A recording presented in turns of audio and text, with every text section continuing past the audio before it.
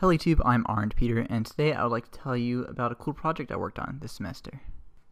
My school has a club called VGDev, and uh, the idea is that all members of, of VGDev split up into teams at the beginning of the semester, and the goal is for each team to finish a game by the end of the semester.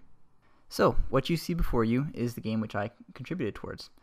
It's a platformer, and the core mechanic is that you can switch between 2D perspective and 3D perspective and use uh, these two perspectives to navigate through the world, and we create all kinds of mind-bending puzzles with this mechanic. People who have played it often say that it reminds them a lot of Paper, Paper Mario or Fez. So, our team managed to achieve the goal of finishing the project. It is finished and it is available for you to play right now. You can play it either at the VGDev website or at Newgrounds. I would really appreciate it if you went ahead and check it out. I look forward to seeing what you guys um, have to say about it. So, with that, I'll see you guys next time.